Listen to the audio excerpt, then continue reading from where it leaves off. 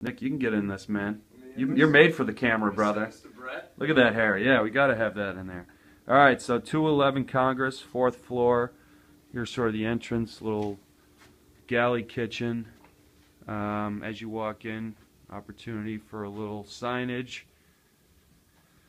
Decent sized conference room that could probably accommodate the uh, the whole Boston office, and uh, a little less open and a little less uh, width than the eighth floor. But uh, I think what we were sort of thinking is there are ways to open this up a little bit.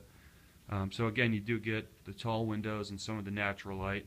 The area where we primarily look to open it up would be um, in this corner, where right now you have sort of two offices uh, taking up the corner space, but um, it sounds like it would be pretty painless to come in, remove both of the, the walls around these offices. Uh, we wouldn't need them, so it's a pretty good amount of space you can see, and then that would really open it up to, um, so that again, there's heading down towards South Station, similar views. There's Congress, then going up the street towards uh, PO Square, um, and then you do have uh, another little sort of corner office. So, you know, we could wrap around that whole thing depending upon if you want to keep that office.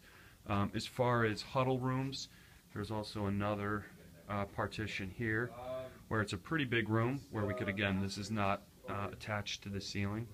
So again, there's sort of the uh, the main entrance where we came in, and then here's just a sort of a storage closet um, that you know we could essentially make uh, you know put the walls inward a little bit and uh, not use as much depth and use you know that for two huddle rooms for demos etc so again here's one one more little panoramic. That's the corner where we could sort of take out um, create a little bit more space. And again you get sort of those long windows uh, that give you a lot of natural light. So there's 211 fourth floor certainly a potential. Uh, there's the conference room